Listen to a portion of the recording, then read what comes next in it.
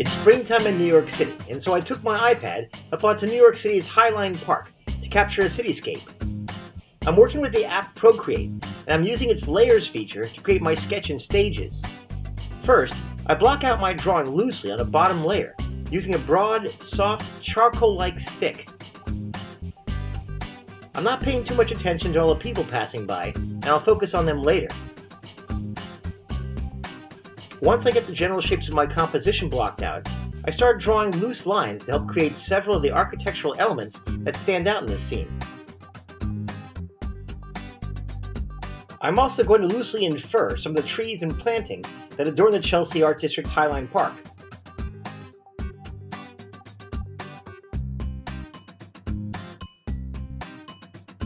I'm going to be working up here for about two hours, and there's so many details to capture, but I'm going to limit my time on architecture to an hour, and then spend the other half of my time trying to capture some of the people walking around.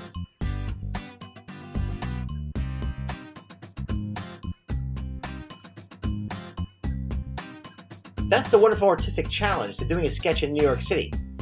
You're not a photographer, you're only trying to capture the feeling of the location, the vibe of the place. And you have to be very fast and loose to capture a bustling scene like this. At this point, I'm starting to notice the variety of people walking by and sitting on the benches around me. Remember, this is a two hour sketch compressed into a five minute video. I'm only taking mental snapshots of a person every 30 seconds or so, and I choose the ones who are seated to begin recording what I see as fast as possible.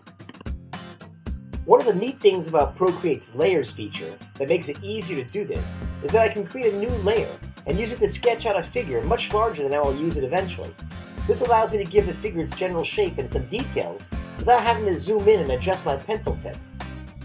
Let's get the people in the far distance done quickly. Oops, I didn't like that said. Let's do that again.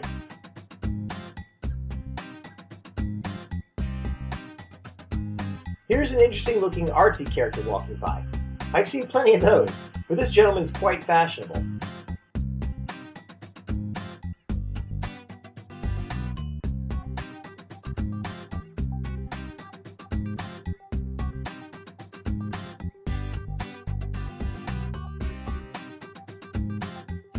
Here's a photographer taking a snapshot off the highline of the street below.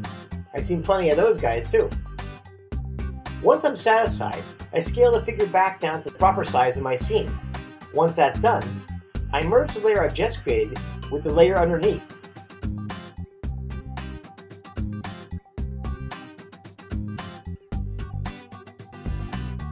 Now that I've gotten my composition done and most of the details structurally in place, I'm going to darken my pencil tip and sharpen up the lines in all the right places. This will bring out the energy of the composition, all that human movement, all those powerful lines of perspective.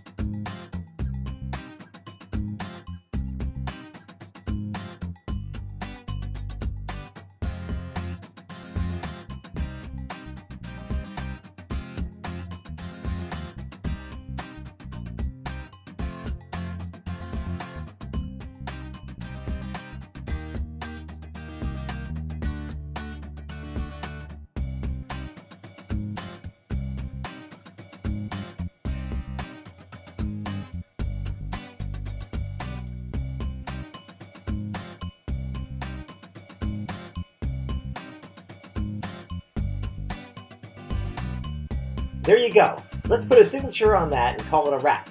Thanks for joining me up here on the highline. Make sure to follow me on Facebook, Twitter, and Instagram, or visit my website, thegreatnoob.tv, to see more figurative artworks.